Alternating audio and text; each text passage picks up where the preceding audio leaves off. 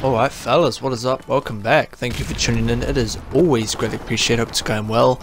Now I just want to say a big shout out. Oh, get the UAV baby. Love it.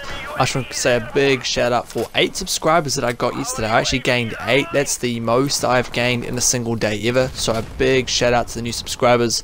And guys, I want to talk to you guys about the top 5 games I cannot wait for next year. Because that, like now, at the time that we are currently at, there is not really much stuff to talk about. There's not really any big Halo news or any any big Fallout news or any gaming news in general. It's all very quiet until the new year, of course.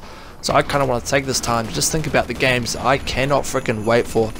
So let's get straight into it, fellas. Now, now number five is actually, is actually not too far away. It's only a couple of weeks away, and that is Halo Wars 2. I'm not a big RTS fan. Now that is what Halo Wars is, and I didn't play the first one too much, but I did buy the first one because it is actually playable on backwards compatibility. Now I didn't realize that if you pre-ordered Halo Wars 2 and got the definitive edition, you, you actually get a remaster of Halo Wars 1. Now I didn't know that, so I'm going to go pick that up of course.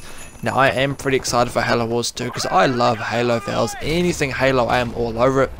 So Halo Wars 2 for me is number 5. Now number 4 has got to be Prey. Now this kind of science fictiony space survival horror scary game I cannot freaking wait. The fact that you can actually turn into a cup I mean, come on, fellas, you can turn into a cup to hide from monsters. That is pretty freaking cool. Now, Prey is actually, it's actually the third one in the series, correct me if I'm wrong, but it's like a reimagining of the franchise. I cannot wait for that. It looks scary. Awesome first person shooter. Cannot wait for Prey that releases next year. Now, number three also is only a few weeks away. That is Resident Evil 7.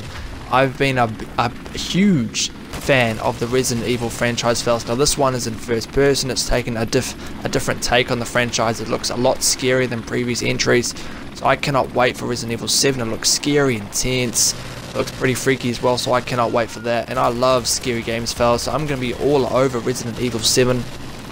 And number 2, we don't really know much about it, but the next Call of Duty I'm pretty excited and the reason why I'm pretty excited for the next Call of Duty is that the rumours fellas that it is going to be boots on the ground either based in Vietnam or or World War II or just back to the boots on the ground combat fellas. That is why I'm I am excited what Sledgehammer do bring to the table for the next Call of Duty just please guys please Sledgehammer I'm begging you from Zombie Bang.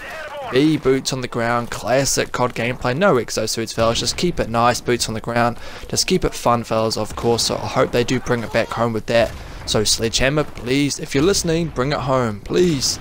And number one has got to be my most anticipated game, I think you guys might know what it is, I've been playing the old ones quite recently, it's got to be Mass Effect Andromeda, I cannot freaking wait for this game. I played Mass Effect 2 and 3 and I gotta say I prefer Mass Effect to Fallout outside playing this. Now that is a big thing for me to say because Fallout is probably one of my favourite game series of all time and I actually prefer Mass Effect to Fallout now that I've been playing through those games so Mass Effect Andromeda is now on the top of my list for anticipated games for 2017 so I cannot wait for Andromeda the next entry in the franchise got some new characters to play around with the graphics look amazing the gameplay looks amazing, the open worldness looks awesome, and I cannot wait for Andromeda to come out next year.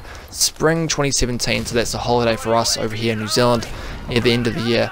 But fellas, if you guys agree with my list, or if you want to add other games that you're excited for, be sure to comment down below. And if you guys are ex as excited as I am for Mass Effect Andromeda, be sure to comment down, of course.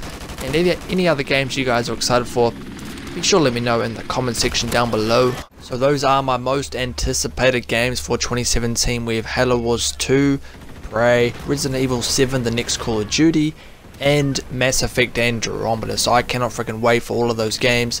But fellas, as always, thank you for watching. It really is always greatly appreciated. Now I just want to quickly mention a proposition that I do have for you guys. You can be interested or not. I just want to quickly explain it. And I'll, I'll mention it in a few videos I have upcoming as well. And I'm actually thinking of covering the next Mass Effect, like doing news updates, kind of kind of like what I did with Halo 5. Do do like heaps of news updates, discussions, about all the like the big information that we do learn about Mass Effect Andromeda. So I am actually kind of thinking about doing that. But I want to ask you guys if you want me to do that, if you guys like to see videos like that added into the current rotation of stuff I do at the moment. So be sure to comment down below on if you guys like to see me cover Mass Effect Andromeda.